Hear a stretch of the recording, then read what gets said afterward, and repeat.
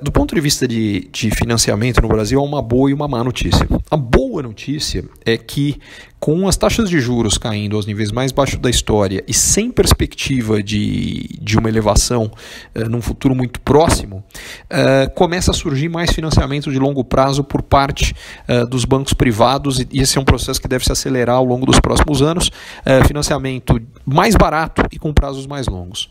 A má notícia é que o maior financiador de investimentos em indústria, tecnologia e inovação historicamente no Brasil é o BNDES.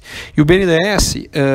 Não só uh, teve problemas com alguns financiamentos grandes e importantes, mas que foram, no final das contas, hoje se vê claramente uh, baseados em motivação política ao longo do, da era do governo petista, uh, mas mais recentemente, em função dos problemas gravíssimos das contas públicas, o dinheiro do BNDES, grande parte dele, está tendo que ir cobrir esse buraco. Em outras palavras, sobra menos capital para o BNDES emprestar.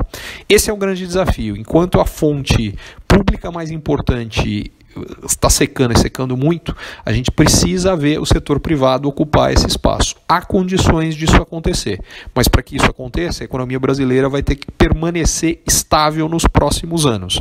E aí é que volta mais uma vez a importância em particular da reforma da Previdência para afastar as preocupações fiscais no Brasil. Caso contrário, vai ser limitada essa oferta de dinheiro mais barato para setores que são chave. E o último ponto é que, do ponto de vista estratégico, particularmente a que haver no Brasil um plano estratégico de investimento em tecnologia e inovação, é, porque isso é que vai tornar o Brasil mais competitivo. É, e hoje a gente não vê isso, pelo menos não vê com a agressividade que teria que acontecer.